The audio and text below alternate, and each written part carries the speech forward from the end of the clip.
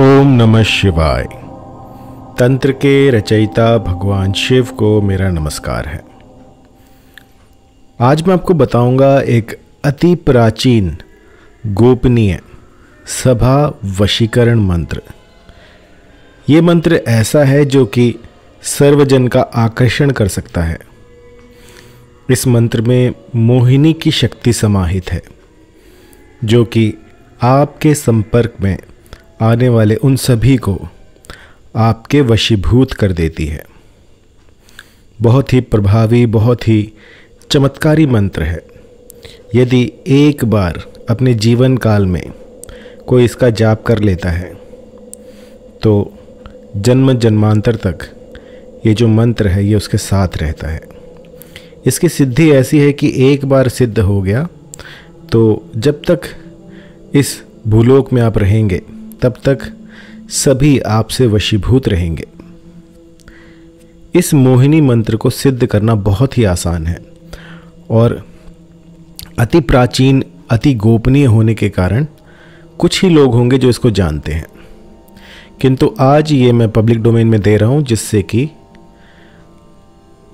आम मानस जो है वो इसका प्रयोग कर सके और अपनी जो भी अभिलाषा है उसको पूर्ण कर सके। ये मंत्र जो है, ये महाभारत काल का है। लगभग पाँच से छः हज़ार साल पुराना ये मंत्र आपको आज मैं दूँगा, जो कि किसी को भी पलक झपकते ही आपके सामने नतमस्तक कर देगा।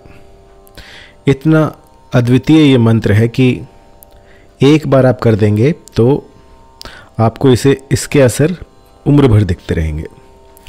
ये जो मंत्र है, ये सर्वजन वशीकरण मंत्र की श्रेणी में आता है। अर्थात, यदि इसे आप करते हैं, इसकी सिद्धि प्राप्त कर लेते हैं तो जहाँ भी आप जाएँगे, वहाँ पर आपकी जय जयकार हो जाएगी। कई लोग ऐसे बिज़नेस में होते हैं, जहाँ पर कि लोगों को इन्फ्लुएंस करना होता है। तो उस जगह पर भी ये मंत्र काफ़ी सटीक लगता है। आप इसका प्रयोग कर सकते हैं। यदि किसी स्त्री को आकर्षित करना हो, अपने बॉस को आकर्षित करना हो या किसी से कोई काम मनाना हो, तब ये मंत्र जो है, सटीक काम करता है। और सोने पे सुहागा ये है कि इस मंत्र का कोई भी साइड इफ़ेक्ट नहीं है।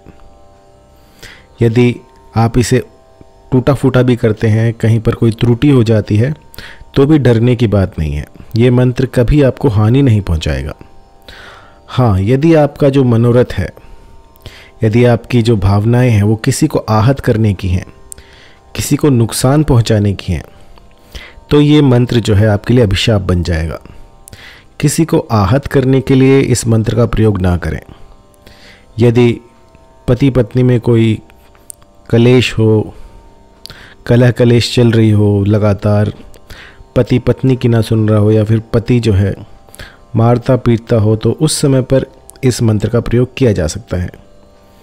मोस्टली इसका प्रयोग तब किया जाता है जब आपकी जो है बात कोई सुन ही ना रहा हो और आप पर अत्याचार हो रहा हो। उस समय पर इस मंत्र का प्रयोग किया जा सकता है।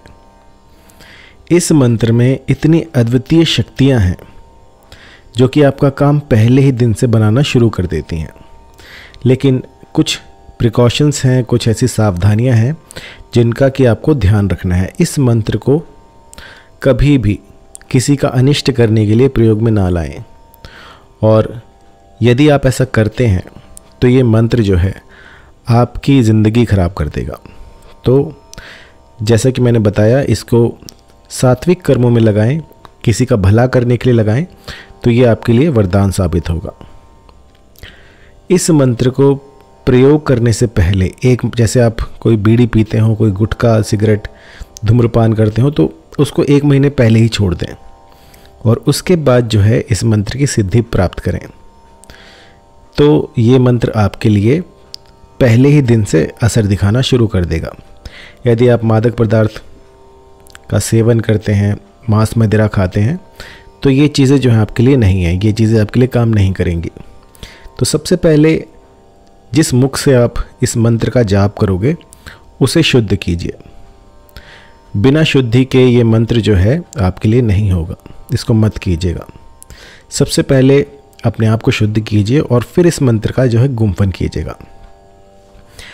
इस मंत्र की 108 की संख्या में त्रिकाल संध्या आपको एक माला जो है जाप करनी है।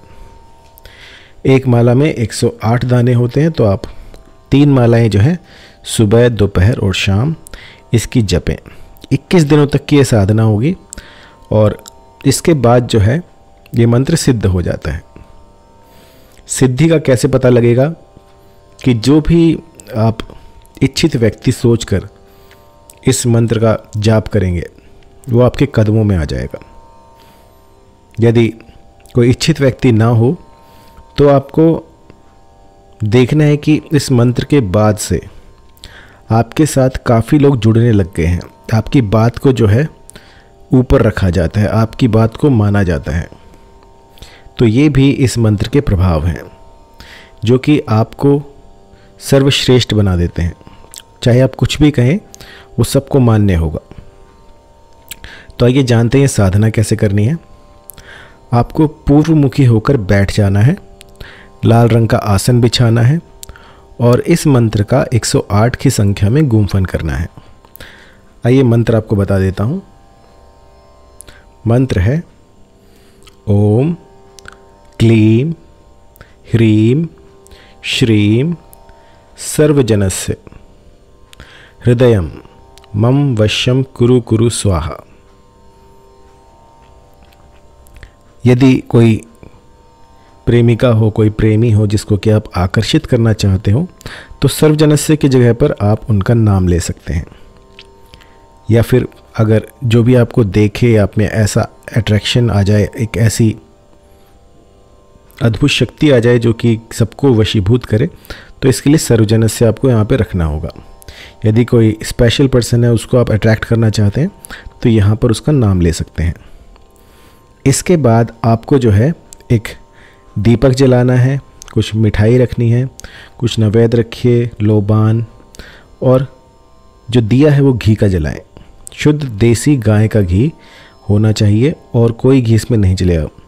मार्केट में मिलने वाले घी से परहेज करें और ख़ुद अपना जो होता है गाय का घी, वो प्रयोग में लाएँ। भैंस का घी इसमें नहीं चलेगा, गाय का ही घी होना चाहिए और इसके बाद जो है आप इसका जाप शुरू करें। जाप शुरू करने से पहले पहले दीपक जलाएँ। दीपक की लौ पर अपना हाथ रखें और अग्नि को साक्षी मानते हुए ये प्रण ले कि जब तक ये साधना पूरी नहीं होगी, आप इसको बीच में नहीं छोड़ेंगे। और अग्निदेव से आग्रह करें कि इस साधना में आपके पग पग पर सहायक हों और उनसे अनुमति लेकर अपने ग्राम देवता, अपने कुल देवता को हाथ जोड़कर उसके बाद जो है ये मंत्र प्रारंभ करें। जब इसका गुम्फन आप कर लें 108 की संख्या ख़त्म हो जाए तो जो भी दिया है उसको बुझाए ना। कई बार मैं देखता हूँ कि जैसे ही चैंटिंग ख़त्म होती है, दिया बुझा कर रख देते हैं। जब तक दिया जल रहा है, उसको जलने दीजिए। जो चीज़ जहाँ पर जैसी है, जब तक दिया जल रहा है, तब तक वो चीज़ वहीं होनी चाहिए। आपको अग्निदेव को आमंत्रण देना होता है। जब आप इसका गुम्फन करना शुरू करते हैं, उस समय पर अग्निदेव को बुलाएँ, उसको, उनको जो है अपने इस यज्ञ में, अपने इस साधना में एक स्थान दें और उसके बाद जब ये चले जाएँ, जब दीपक बुझ जाए, तब ये समझिएगा कि वो वापस चले गए हैं। और उसके बाद जो है, जो भी आपको साफ़ सफ़ाई करनी है, वो कीजिएगा।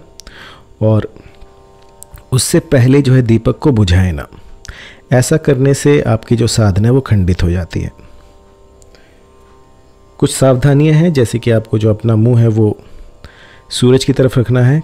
कोई भी चाहे किसी भी तरह की दिक्कत आए, परेशानी आए, लेकिन आपको उठना नहीं है। 108 की संख्या का जाप करने के बाद ही उठना है। और जब आप ये साधना करें तो आपके आसपास कोई ना हो। चाहे वो आपके घर में हो, पहाड़ पर हो, जंगल में हो, गुफा में हो, जहाँ पर भी आप करें, वहाँ पर एकांत में करें। किसी का साथ ना लें। जब ये साधना आपकी पूरी हो जाए, उसके बाद जो है आपको अपने ग्राम देवता को, अपने इष्ट देव को कुछ फल, फूल, दीपक आदि चढ़ाकर इसकी सफलता के लिए आग्रह करना है कि आपके सब, इस साधना को पूर्ण करें और अपना आशीर्वाद बनाए रखें। और